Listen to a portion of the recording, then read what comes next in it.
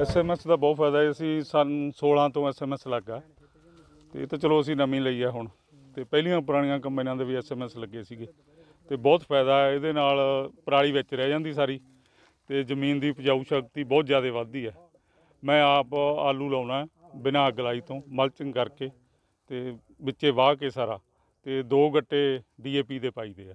ਤੇ ਪਹਿਲਾਂ ਚਾਰ ਗੱਟੇ ਪਾਉਣੇ ਪੈਂਦੇ ਸੀ। ਬਹੁਤ ਜ਼ਿਆਦਾ ਫਾਇਦਾ ਹੈ ਪਰਾਲੀ ਵਿੱਚ ਵਾਹੁਣ ਦਾ। ਕਿਸਾਨਾਂ ਨੂੰ ਕੀ ਅਪੀਲ ਕਿਸਾਨਾਂ ਨੂੰ ਤਾਂ ਅਪੀਲ ਹੈ ਵੀ ਅੱਗ ਨਾ ਲਾਓ।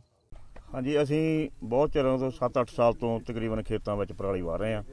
ਖੇਤਾਂ ਵਿੱਚ ਪਰਾਲੀ ਵਾਹੁਣ ਦੇ ਨਾਲ ਸਾਡੀ ਜ਼ਮੀਨ ਦੀ ਜਿਹੜੀ ਉਪਜਾਊ ਸ਼ਕਤੀ ਵਧੀ ਹੈ ਤੇ ਜ਼ਮੀਨ 'ਚ ਜਿਵੇਂ ਪਿਛਲੀ ਵਾਰ ਜ਼ਿਆਦਾ ਮੀਂਹ ਪਏ ਸੀਗੇ ਪਾਣੀ ਖੜਨ ਦੀ ਸਮੱਸਿਆ ਆ ਗਈ ਸੀ ਸਾਡੇ ਖੇਤਾਂ ਵਿੱਚ ਉਹ ਸਮੱਸਿਆ ਨਹੀਂ ਆਈਗੀ ਬਾਕੀ ਵਾਤਾਵਰਨ ਸਾਫ਼ ਸੁਥਰਾ ਰਹਿੰਦਾ। ਹੋਰ ਵੀ ਸਾਨੂੰ ਵੇਖ ਕੇ ਸਾਡੇ ਪਿੰਡ ਦੇ ਕਿਸਾਨ ਸਾਡੇ ਨਾਲ ਜੁੜੇ ਆ ਜਿਹੜੇ ਕਿ ਅੱਗ ਨਹੀਂ ਲਾ ਰਹੇ ਹੌਲੀ ਹੌਲੀ ਰਕਬਾ ਵਧਾ ਰਹੇ ਆ। ਜਿਵੇਂ ਅੱਜ ਤੋਂ 7-8 ਸਾਲ ਪਹਿਲਾਂ ਤਾਂ ਮਸ਼ੀਨਰੀ ਵੀ ਬਹੁਤ ਘੱਟ ਸੀ। ਉਦੋਂ ਅਸੀਂ ਪਰਾਲੀ ਸਾਂਭ ਲੈਂਦੇ ਸੀ ਹੁਣ ਤਾਂ ਮਸ਼ੀਨਰੀ ਬਹੁਤ ਜ਼ਿਆਦਾ ਆਈ ਹੋਈ ਆ।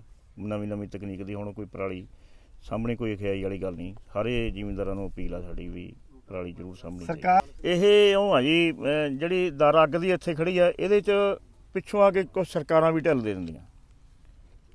ਅਸੀਂ ਸਮਝਦੇ ਹਾਂ ਵੀ ਜਾਂ ਤਾਂ ਫਿਰ ਕਾਨੂੰਨ ਸਾਰਿਆਂ ਵਾਸਤੇ ਇੱਕ ਹੀ ਹੋਵੇ ਜਿਵੇਂ ਅਸੀਂ ਸਬਸਿਡੀ ਲਈ ਆ ਅਸੀਂ ਤਾਂ ਉਹ ਕਾਨੂੰਨ ਨੂੰ ਫੋਲੋ ਕਰਦੇ ਹਾਂ ਕਾਨੂੰਨ ਦੇ ਆਧਾਰ ਤੇ ਚੱਲਦੇ ਹਾਂ ਨਹੀਂ ਅੱਗ ਲਾਉਂਦੇਗੇ ਪਰ ਜਦੋਂ ਇੱਕ ਅੱਧਾ ਬੰਦਾ ਲਾਉਂਦਾ ਫਿਰ ਉਹਨੂੰ ਵੇਖ ਵੇਖ ਕੇ ਸਾਰੇ ਹੀ ਲਾਉਣ ਲੱਗ ਜਾਂਦੇ।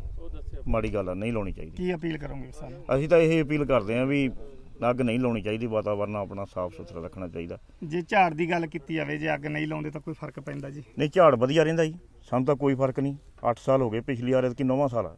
ਅੱਜ ਦਾ ਮੁੱਖ ਮੰਤਵ ਇਹੀ ਹੈ ਜੀ ਕਿ ਜਿਵੇਂ ਪੰਜਾਬ ਸਰਕਾਰ ਦੀਆਂ ਹਦਾਇਤਾਂ ਵੀ ਨੇ ਕਿ ਆਪਾਂ ਜਿਹੜਾ ਜ਼ੀਰੋ ਬਰਨਿੰਗ ਕਰਨੀ ਹੈ, ਇਹ ਟਾਰਗੇਟ ਆਪਣਾ, ਉਹਨਾਂ ਦੀਆਂ ਵੀ ਇਹ ਹਦਾਇਤਾਂ ਨੇ ਕਿ ਵੱਧ ਤੋਂ ਵੱਧ ਕਿਸਾਨ ਵੀਰਾਂ ਨੂੰ ਪਿੰਡ-ਪਿੰਡ ਦੇ ਵਿੱਚ ਜਾ ਕੇ, ਖੇਤ-ਖੇਤ ਦੇ ਵਿੱਚ ਜਾ ਕੇ ਜਾਗਰੂਕ ਕੀਤਾ ਜਾਵੇ ਕਿ ਜਿਹੜੀ ਉਹ ਝੋਨੇ ਦੀ ਪਰਾਲੀ ਹੈ ਉਸ ਨੂੰ ਅੱਗ ਲਾਉਣ, ਬਿਲਕੁਲ ਵੀ ਨਾ ਲਾਉਣ। ਇਸੇ ਮੰਤਵ ਦੇ ਨਾਲ ਅਸੀਂ ਅੱਜ ਜਿਹੜਾ ਆ ਕਿਸਾਨਾਂ ਦੇ ਰੂਬਰੂ ਹੋਏ ਆ ਤੇ ਸਾਡੇ ਨਾਲ ਇੱਥੇ ਕਾਫੀ ਗਿਣਤੀ ਵਿੱਚ ਕਿਸਾਨ ਸ਼ਾਮਲ ਨੇ ਜਿਨ੍ਹਾਂ ਨੂੰ ਅਸੀਂ ਵੱਖੋ ਵੱਖਰੇ ਤਰੀਕਿਆਂ ਬਾਰੇ ਜਾਣਕਾਰੀ ਦਿੱਤੀ ਹੈ ਕਿ ਉਹ ਕਿਵੇਂ ਆਪਦੀ ਪਰਾਲੀ ਦਾ ਪ੍ਰਬੰਧਨ ਖੇਤ ਦੇ ਵਿੱਚ ਕਰ ਸਕਦੇ ਆ ਤੇ ਸਾਡੇ ਨਾਲ ਇੱਥੇ ਕੁਝ ਅਜਿਹੇ ਕਿਸਾਨ ਵੀ ਨੇ ਜੋ ਕਾਫੀ ਸਾਲਾਂ ਤੋਂ ਜਿਹੜੇ ਆ ਪਰਾਲੀ ਨੂੰ ਅੱਗ ਨਹੀਂ ਲਾ ਰਹੇ।